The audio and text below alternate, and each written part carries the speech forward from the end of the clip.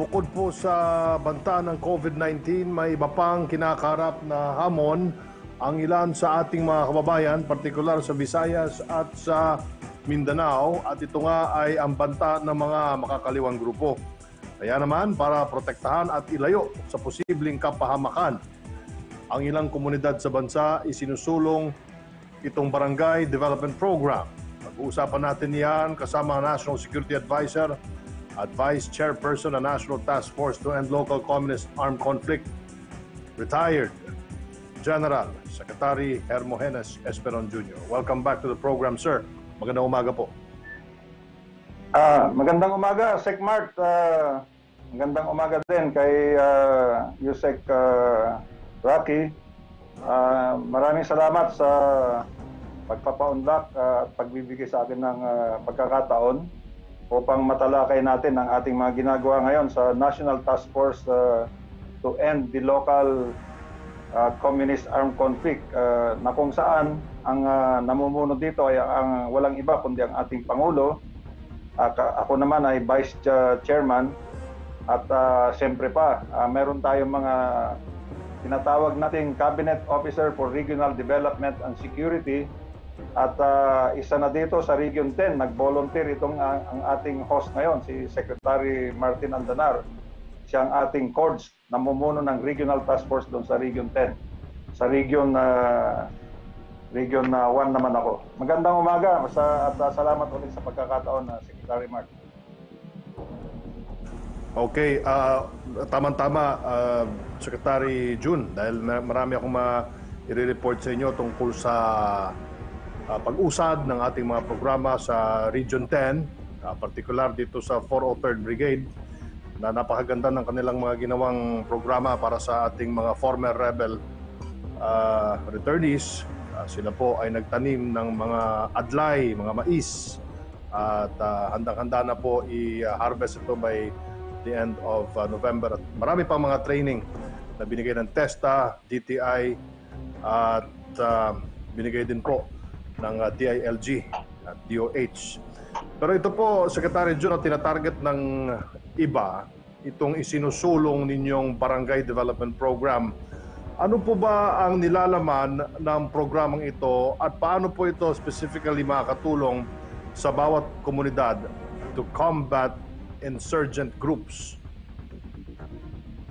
Uh, ganito yan, uh, Sec Mark, alam mo naman, uh, you being from uh, Mindanao, uh, uh, alam mo naman na doon sa mga CPP NPA ngayon, sa mga kinikilusan nila uh, na mga lugar, ay meron silang tinatawag na Centro de Gravi- Gabri- Gravidad. At uh, yan ang kanilang mga guerrilla bases. Yung kanilang guerrilla bases ay walang iba kundi itong mga barangay na talagang kontrolado na nila, na influensyahan na nila. Yung mga barangay kapitan dyan ay uh, actually kanilang hawak na yan at sa totoo lang, nakapagtayo na sila ng shadow government. Meron na silang organs of political power na tinatawag dyan. Uh, at uh, sila na nagpapatakbo ng uh, gobyerno doon sa mga barangay na yan. At uh, kung pagtabi-tabihin mo ang mga barangay na yan, ay nagiging distrito yan. Kaya uh, nakakapamugad sila dyan. Kaya dapat ay alisin natin sila dyan sa pamamagitan ng uh, social, economic, and military programs. Ang nangyayari kasi dati, military lang at saka PNP, National Police, ang nagtatanggal sa kanila dyan. Ngayon, sa sistema natin, sa National Task Force to End the Local Communist Armed Conflict. Whole of government na yan, kaya sama-sama tayo dyan. Halos uh, wala akong nakikitang ahensya ng gobyerno na hindi kasama sa pagpugsa pag, at uh, uh, pagpuksa natin sa CPP-NPA. Kailangan talaga mawala sila doon sa guerrilla bases dahil hanggat mayroon silang malakas na may malakas na guerrilla ay lalo lalo lamang na nabibigyan ng lakas din itong mga galamay nila or front organizations dito sa tinatawag natin na white area o sa mga urban areas. So kailangan natin itong clearing na to. Ngayon, uh, paano ang clearing na gagawin natin? hindi na ang dating ginagawa natin ay patrolyahan natin, maglagay ng detachment hanggang sa humina sila doon. Pero hindi magtatagal yon dahil nandun pa rin yung mga problema. Dahil maraming socio-economic problems diyan sa guerrilla bases nila dahil ang mga ito ay geographically isolated and disadvantaged sa areas. So, kailangan nating i-clear yan sa pamamagitan ng kombinasyon ng economic uh, programs, political programs, at uh, military programs. Sa isang uh, cabinet meeting natin noon, matatandaan mo, Secretary Mark, na nagpresenta ako kay Presidente ng datos ng operations ng armed, forces at naipakita ko na mayroon tayong mga na-clear ng barangays na umaabot na sa 1,400 barangays. Ang uh, ating hinaharap na challenge noon ay nawala yung NPA doon. Kung hindi natin lalagyan ng development, babalik-balikan nila yan o susubukan nilang maagaw ulit sa control natin. Kaya hiniling ko at i-recommenda ko sa Pangulo, sa ating cabinet noon, na sana maglaan ng pondo para makapaglagay ng mga basic uh, services or basic uh, ameliorations para gumanda yung buhay ng ating mga kababayan sa mga barangay na yan. So ano itong Barangay Development Program? Ito na yon. Uh, na napapaloob na ngayon sa ating panukalang uh, budget sa National Expenditure Program. Mayroon tayong 822 barangays na lalagyan natin ng uh, mga farm to market road, uh, eskwelahan, classrooms, health station. Mayroon din tayong ilalagay na programa para sa waterworks at saka irigasyon. At mayroon din tayong ilalagay na National Greening uh, Program or Forest Protection Programs para pangalagaan yung environment at saka para magkaroon na rin ng hanap buhay yung mga tao doon sa pamamagitan ng reforestation. At sasabay na rin ang mga iba't ibang programa ng gobyerno para mapabuti yung buhay ng mga tao doon. Kung magagawa natin ito, kung uh, makukuha natin yung pondo nito, dahil nandyan pa naman sa Kongreso, hinihingi natin ang 16.44 billion.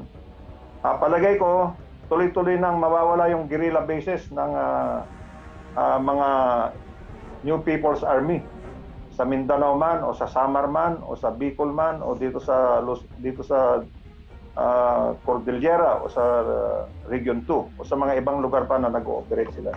Ito ang gamot natin sa sa insurgency na tinatawag nating insurgency sa mga barangay, uh, Sec Martin.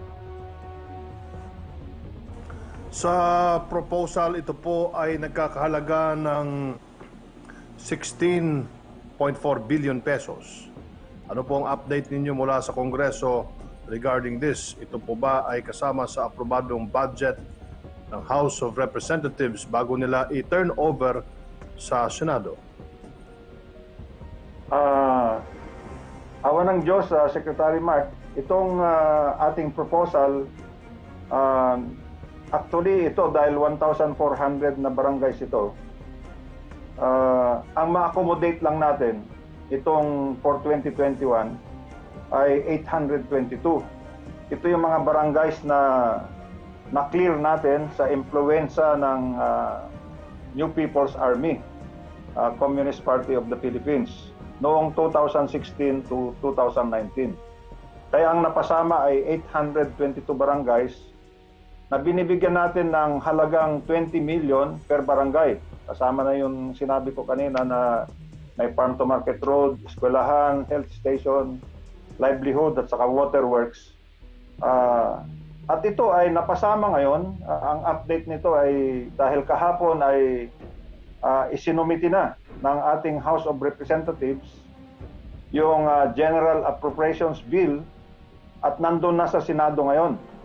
Uh, at uh, yun ngayon ay uh, pag-uusapan naman sa Senado at tulad ng ibang bahagi ng ating budget ay magkakaroon later on na uh, mga end of November siguro yan makikita natin na uh, na magkakaroon ng bicameral conference committee para maging final uh, final final na yung magiging laman ng ating General Appropriations Act. So ako'y natutuwa, uh, Secmart, na yung ating 16.44 uh, billion, uh, 20 million bawat barangay, 822 all over the Philippines ay napasama pa rin doon sa isinumiti ng House of Representatives uh, doon sa Senado. May ilang kongresista po ang nagsasabi na this could also be a form of pork barrel. Ano po ang response o paglilinaw ninyo tungkol sa accusation na ito? Ah, hindi ko alam kung saan nanggagaling yung akusasyon nila yan na, na pork barrel daw. Palibhasa, may mga tao talaga na sanay na mag-pork barrel. Ah, hindi naman tayo yun. na Segmart, alam mo naman tayo sa atin talagang diretso serbisyo sa tao. Ano. Siguro, ah, sinasabi nila na yung 16.44 ay ah, hahawakan ko at kukuha tayo ng commission dyan. Ah, hindi pwedeng mangyari yon na checkmark dahil alam na alam mo naman, ikaw ay isang cabinet officer for regional development and security. At ah, yung strategic communications cluster ay pinangungunahan nga ng departamento mo. Ah, ang National Task Force LCAP ay magiging matagumpay yan kung kanyang laging isa sa puso at isasagawa ang tinatawag nating good governance. Good governance. Ah, ang mangyayari kasi dito sa pondong ito ay ilinagay lang natin dito sa DBM at tayo naman sa National Task Force LCAC ang magsasabi kung ready na yung barangay na tumanggap ng pondo. Sa makatuwid, yung pondo ay pupunta sa ah, provincial government dahil 20 million yan. Ah, hindi kayang tanggapin ng barangay yan. Doon naman sa ating ah, probinsya ay meron tayong Provincial Task Force ng National Task Force LCAP. At yun ang kasama ng munisipyo, ng barangay at ang mga tao mismo na mag-implement ng programa. Kaya sa mga bidding tungkol sa farm to market road o sa eskwelahan o sa irigasyon o doon pa sa mga ibang projects na ia-award, ay kitang-kita ng mga tao yan. Very transparent. At saka talaga namang pag-iigihin natin ito dahil noong ibinigay, noong hiningi natin itong programang ito, galing na ito sa mga tao. Kaya dapat lang na yung mga tao alam nila kung ano yung programa. Paano mo wawaldasin itong ah, pera na to at sa- sasabihin nila na pork barrel. Hindi ko alam kung ano talaga ang ibig sabihin ng pork barrel sa kanila. Ito bang mga projects na ito ay magiging ghost projects? Hindi, pwedeng mangyaring ghost project kasi alam ng tao na yon ang darating. Ito ba ikakaltasan natin? Hindi rin pwede. Kasi kung kakaltasan mo yan, ay hindi mo ma-deliver yung projects. At alam na alam ng provincial government, municipal government, barangay government, at saka local population. So, saan ka lulugar dyan? Ah, siguro, talagang ito na ang pagkakataon para maipakita natin ang ah, sistema ng good governance. Talagang ah, I will deny in the strongest terms uh, Secretary Mark na ano na form form of pork barrel ito. Paano maging pork barrel eh yung mga barangay na 822 nasa listahan na natin. Hindi mo na mababago 'yon. Ah, talagang iyang mga barangay na yan pinaghirapan ng ating mga tropa na i-clear. Pinaghirapan ng mga taga munisipyo at barangay na i-clear yan. So hindi pwedeng tayo mismo ang magdikta kung anong barangay, baka kung saan saan ang mapunta. Kaya, I'm sorry, ah, yung mga nagsasabing pork barrel, ay baka nangangarap sila na sana mapunta na lang sa kanila yung pondo para silang para silang kumita dyan. Pero tama po kayo, Secretary Esperon, ako po'y saksi sa pag-identify ng mga projects dyan dahil ah, ito po ay ah, galing sa baba. Bottom up po galing yan. Galing sa barangay, dumaan ng munisipyo, dumaan ng probinsya, dumaan ng NEDA, dumaan ng iba't ibang mga ahensya bago po ito na aprubahan ng ah, DBM. So, imposible ho. Wala ho talagang puwang ang korupsyon dito at hindi ho ito pork barrel. Dahil hindi po ito in-identify ng ah, iba pang mga tao mula sa taas. Dahil ito'y in-identify mismo ng tao. Anyway, Ng mga why is tao. it important, Secretary Esperon, na tuloy-tuloy din po ang counter-insurgency programs ng pamalaan gaya nitong Barangay Development Program despite the pandemic? Ah, Segmart, ah, alam naman natin, tayong dalawa ay membro din ng ah, Interagency Task Force ah, ah, to take care of the COVID-19, ano? Itong COVID-19 ay isang clear and present danger na kailangan tutukan natin. Kaya nga meron tayong Bayanihan 1, Bayanihan 2 at ah, ang Pangulo natin ay talaga nakatutok dyan. Because it's a clear and present danger. Lahat tayo nakatutok dyan. Ngunit, ah, sa gitna nito, ay nandyan pa rin ang mga security threats. Ah, sa katunayan, itong ang ah, CPP, NPA, NDF, ay laging tayong pinupulaan sa ating mga ginagawa tungkol sa pandemic, sa COVID-19. Ah, mayroon daw tayong pagkukulang sa social amelioration, mabagal daw yung vaccine. Pero hanggang punal, ang- hanggang kritis, ah, criticism lang naman sila. Ah, sila, ang pinaggagawa nila, pati yung mga ah, sundalong nagbibigay ng ayuda sa mga barangay, ay kuminsan inaambos pa nila. At kuminsan, pati yung ayuda natin sa mga barangay, sila mismo ang kumukuha pa. Inuunahan nila yung mga taga-barangay. Ah, ang sinasabi ko, clear and present danger ang pandemic. Ngunit kailangan tigdan din natin itong mga threats to national security. At ah, pangunahin na dito, ang presidente na mismo nagsasabi na ang CPP, NPA, NDF is the number one political security threat.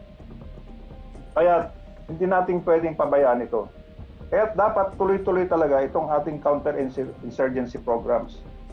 At ah, itong National Task Force to End the Local Communist Arm, ah, Armed Conflict ay siya na ngang ginawa ng Pangulo dahil siya ang chairman nito. Ah, matandaan mo pa, Sekmart, na nag-volunteer siya. Mismo na siya mag-chairman dahil, dahil gusto niya talagang matapos ito. Ah, tuloy-tuloy ito, ang mga programa natin na alisin itong puksain itong ah, insurgency sa mga barangays, sa mga kinikilusan na nilang white area at saka sa dito sa kanilang iba pang kinikilusan tulad ng ah, parliamentary struggle at saka international ah, solidarity works nila. Tutugisin natin sila dyan. Ah, kaya nga ang ating National Task Force to End the Local Communist Armed Conflict ay may dalawa, labing clusters. Ah, una na dyan ang strategic communications na pinangungunahan ng departamento mo. Nandyan ang ating ah, situational awareness, nandyan ang at or intelligence, nandyan ang ating ah, international engagement, ah, nandyan ang ating bas- basic services. Ah, at makikita mo na sa labing dalawang clusters, isa lang ang sa military at saka sa pulis. Kaya talagang hindi na ito ang solusyon na military lang. Ah, kailangan ituloy-tuloy natin ito upang sa ganun ay mawala yung nanggugulo sa atin sa kanayunan at sa naninira ng ating puri. Ika nga dahil lagi, lagi nilang pinupulaan ng gobyerno. Ah, ang gusto kasi ng CPP-NPA ay itumba ang democratically elected ah, government at ang ating democratic ah, system. Gusto nilang palitan ng ah, centralized ah, ah, dicta- dictatorship ah, na kagaya nung mga nangyayari sa mga communist ah, states. Ah, kaya dapat lang naman na talagang labanan natin itong insurgency na ito. Hindi lang sa kanayunan, kundi sa mga iba pang lugar na kung saan sila kumikilos. Marami kasi silang underground ah, organizations, uh, SecMart, ah, alam natin yan. Ah, marami rin silang front organizations. Kaya may malaking ah, tayong hinaharap na tasking ah, at ah, ako'y natutuwa na sa unang kauna-unahang pagkakataon ay nagsasa, nagsama-sama ang buong gobyerno at ang ating private sector dito sa pagpuksa ng ah, CPP, NPA, ah, NDF. At nandito tayo ngayon nga, nandito Okay, uh, Secretary June, uh, uh, dalawa ho sa mga miyembro, high-ranking officials ng ating uh, ng ating uh, National Task Force to End Local Communist Armed Conflict, namely General Parlade at si Yusek Lorraine na undersecretary ko ay dalawa ho sa pinaka-kontrobersyal ngayon na mga opisyalis po ng ng uh, NTF LCAC. Recently si si General Parlade ay na-interview kung saan saan mga media outfits tungkol po sa kanyang naging uh, statement uh, sa ilan sa mga artista po ng ating uh, bansa. Uh, how how how would you defend uh, General Parlade dun sa kanyang mga uh, binitiwang salita? Ah, hindi ko didepensahan si General Parlade at saka si Undersecretary Lorraine Badoy, yung Undersecretary mo. Kundi, susuport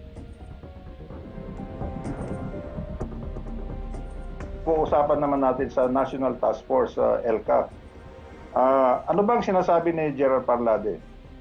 Na ang uh, CPP-NPA ay mayroong mga underground organizations na mayroong front, legal na front. Halimbawa, ang uh, Kaguma uh, or yung Kalipunan ng mga gurong makabayan, underground organization yan. At ang kanyang lumalabas na organisasyon ay ang Alliance of uh, Concerned Teachers. Uh, ang sinasabi ko, yung mga membro ng ACT ay hindi mga komunista yan, kundi may nagko-control sa kanila na membro ng underground movement, yung kalipunan ng mga gurong makabayan. At yan ay isa sa mga or- organo ng National Teachers Bureau ng Communist Party of the Philippines.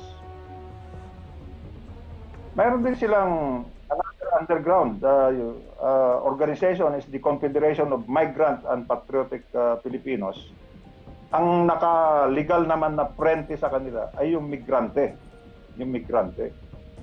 Nandiyan din ang Kabataan Makabayan, which is the underground organization that is actually controlling the organization of uh, the League of Filipino Students, yung uh, anak ng uh, anak bayan, uh, Kabataan Party List, or yung uh, College Editors Guild of the Philippines na mga legal at magagandang organisasyon. Ngunit, itong mga membro nito pinipili nila dyan, mayroon silang tinatarget na i-recruit para maging membro ng Communist Party of the Philippines. Uh, parang din yung makibaka, yung malayang kilosan ng bagong kababaihan. Yan ang underground na organization na nagko-control sa Gabriela. Uh, sa uh, courage naman, sa gobyerno, mayroon silang courage na front organizations pero nagko-control diyan yung makabayang kawaning Pilipino. O, sa mga lawyers naman, nandiyan yung lumab, lumaban o lupon ng mga manananggol para sa bayan. At ang kanilang uh, prente, yung National Union of People's Lawyers. Hindi natin sinasabi na yung National Union of People's Lawyers are members of the Communist Party. Pero may mga membro sa kanila na nagko-control sa organisasyon na kasapi sa Communist Party of the Philippines. So, ito ang sinasabi ni alam mo sa sa LFS yung mga kabataan either mapunta yan sa Gabriela Youth o kabataan uh, uh, or uh, LFS pagkatapos doon ang recruitment ngayon habang tumatagal ay mapupunta na na regular fighter at uh, enkwentro sa Palawan, sa Mindoro at iba-iba pang lugar. Uh, sila yung laging nagpupuno maski na ang na ating napasurrender at na na-neutralize na mga NPA ay umabot ng 3,000. Mayroon pa ring mga dumadating na mga bagong recruit. Kaya yun ang sinasabi ni General Parlade na kayo ay mga front organizations at kasama na dyan ang bayan or yung Makabayan Block. Dahil uh, nasa parliamentary struggle na nga sila, Ah, ngunit, ang kanilang trabaho talaga ay upang mapalakas yung mga ibang organization or yung underground organizations sa kanilang pagre-recruit ng mga kasapi. Kaya ganon din ang sinasabi ni Undersecretary Loren Badoy. Pareho sila ng sinasabi. Paano natin wawakasan itong ah, armed revolution? Okay. Ah, Secretary Jun, wala na po tayong oras pero medyo naputol po yung sinabi mo kanina so lilinawin ko lang yung sinasabi mo hindi mo dinidepensahan bagkus ay sinusuportahan mo dahil naputol baka ma-misquote po kayo. Yun po ba yung sinabi nyo? Sinusuportahan Yeah, nyo, Sec Jun? sinusuportahan ko at sinasabi ko rin, dinadagdagan ko yung sinasabi nila kung hindi pa na- nila nasabi. Pero napakagaling ni Lorraine at saka ni General Parlade. Nasasabi nilang lahat. At ngayon lang kasi nag, nangyayari na mayroon tayong mga spokespersons na ganito na talagang nagsasabi ng totoo. At kailangan talaga magising na ang buong bayan. Ano ba ang gusto natin? Palalawigin ba natin itong 52 years ng ah, ah, CPP-NPA na ah, ginugulo tayo o gusto na nating wakasan ito?